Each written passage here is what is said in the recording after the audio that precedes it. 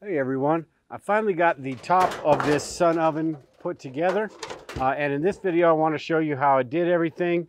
Uh, and then we're going to actually get on to the, the actual testing of this and making sure it works uh, pretty comparable to the All-American sun oven. Uh, before we get into that though, I want to go over a couple of changes I made since the, the first couple of videos. Uh, the, first, the first couple of videos, those ways work fine. Uh, but I just made some changes to try to get it a little bit more efficient. So let's get into that before we go into how I put together this top. All right, so here is the final product, the solar oven, DIY solar oven. And today I'm going to go over how I completed the top of it uh, and then finish everything up. And then we're going to actually get out and test this thing. Uh, there are a couple of changes that I made uh, from the original couple videos. The first one uh, you can see the reflector panels. I used aluminum instead of the mylar, the wood uh, with the mylar backing on it. Uh, it to me, the the I mean the, the other one works great. It works just fine, uh, but this works a lot better. The other sun oven, when I tested it, um, it was about 325. Uh, it got up to about 325, which was about 25 degrees less than the sun oven. So I wanted to try these as well as the fact that these are just a little bit more durable. Uh, with the mylar, there's the possibility of the mylar coming off or the zip ties breaking. Uh, with these, I used uh, the hinges with some rivets. I don't know if you can see that there. Um, just a couple rivets. I'm also going to put another hinge on the bottom of these. Uh, but this was a little bit more expensive than the other way, but either way will work. I also uh, did change the plexiglass out for regular glass uh, because I had a feeling that over time the plexiglass was going to get, after getting heated up in the sun, it was going to start to warp and create, you know, gaps around the seal there. Uh, but, you know, again, it, it, it would work just fine with the plexiglass. Uh, the only problem with the glass is that you have to cut it, which is fairly easy. Uh, and then you've got to be careful not to break it, otherwise you've got to buy it again. So uh, one last thing, and I'll get into how I how I did the top was on the back here. Um, I put the foot on, and what I did was just got a piece of tin uh, and shaped it around a one by two. Kind of made the foot just like the sun oven. I'll put some holes in that tin so I could adjust uh, how far that piece of wood goes up into it, so I can adjust the angle of the solar oven. I may paint that, I may not. I'm not quite sure yet. Uh, but let's go ahead and get into how I put together the top, uh, the, the frame around the outside, the glass, the seals, the hinges, and those uh, uh, adjustment guides there. All right, so what I did was started with this outside frame, uh, and I used oak for this because it's just a prettier wood, uh, but it is a hardwood. So when you put the screws in the four corners here, make sure you actually drill a hole first for that screw to go in or you absolutely will split the wood. Uh, with this, I used 45 degree angles.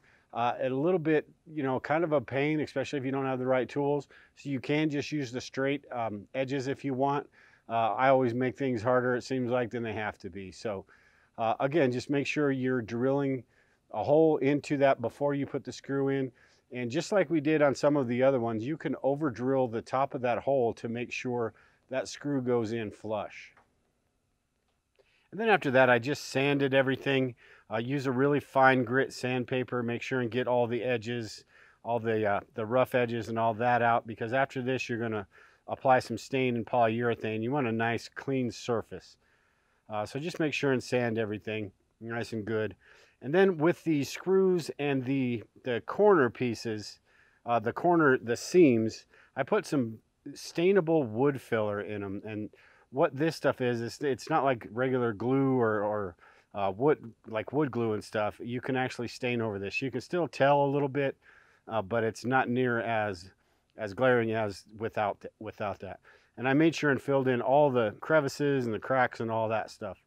Then after that, I just got a clean cloth and started applying the stain to it.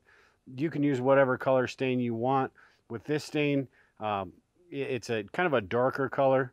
So I just wiped the stain all over everything. If you want it even darker than this, you can wait for that to dry and then apply, apply another level of stain. Uh, with this also, I didn't bother, you know, waiting to do the back because the back is going to be underneath and I figured it doesn't really matter what it looks like. The top is the most important. So I did both sides, even though the back is sitting on that table. Uh, and then again, if you want to apply another coat, um, just sand it down a little bit with some fine sandpaper and apply another coat. And then with the polyurethane, uh, what I did was applied one coat and then I, I did two coats on this.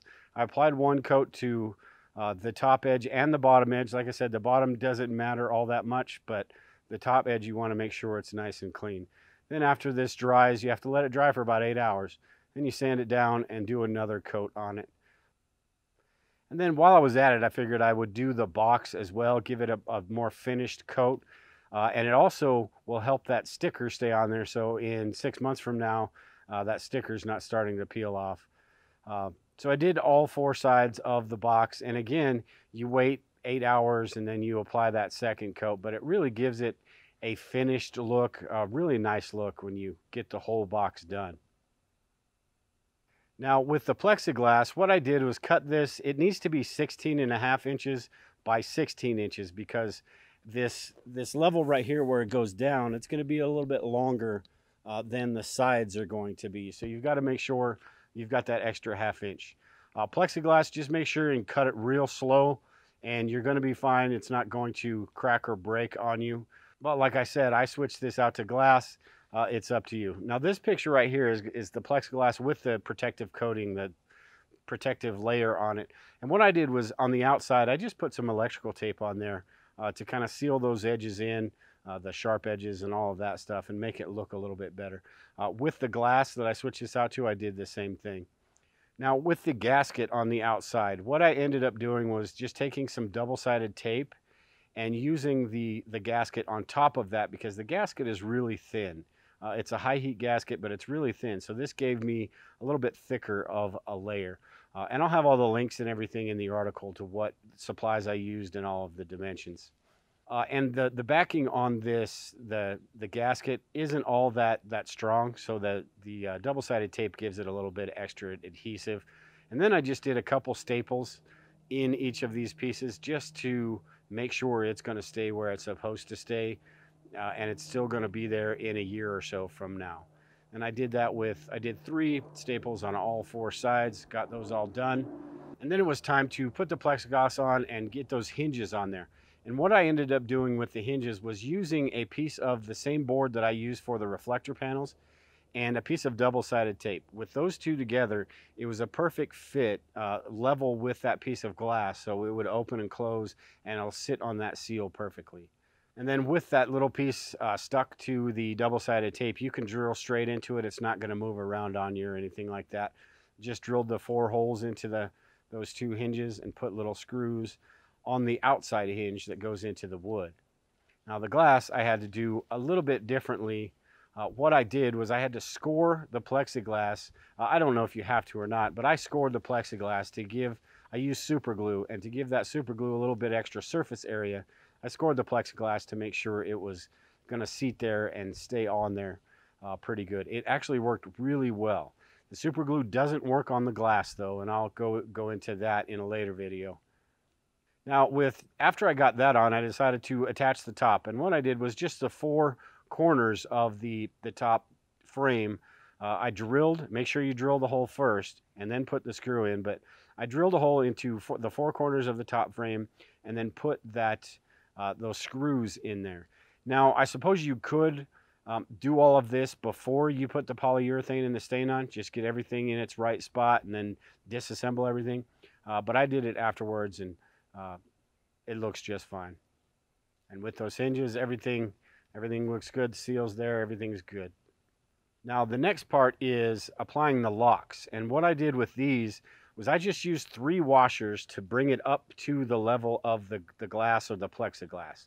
Uh, and then just cut a few pieces of wood, uh, maybe a half an inch by one inch, uh, however big you want them, and then just fasten those down to their to where they're just tight enough on that glass it holds that glass down on that uh, that gasket.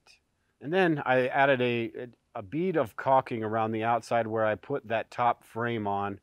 Uh, this was, I didn't have a very good caulking gun, so it was a little bit tricky, but uh, you just want to make sure that's closed in there. And then after I did uh, this, put this caulking on, I actually used some of the same spray paint, uh, that high heat spray paint, and sprayed it into the top of the can and then used that with a brush and painted over that, that seam. And then what I'll probably do is add another layer of that, that uh, polyurethane on there. So this is the oven so far. One thing I didn't mention in the video is this piece I put on back here. I just put four screws in this. This is kind of a temporary piece right now, but I wanted to fasten these solar panels on because when it gets a little windy, um, they're going to fly off on you. So, and you don't want that. So, um, put that piece on. Now I need to put a couple hinges down here to keep these straight, but for right now, uh, it's pretty good. Another thing that I didn't show in that is these, these two uh, adjuster guides and the handle right there.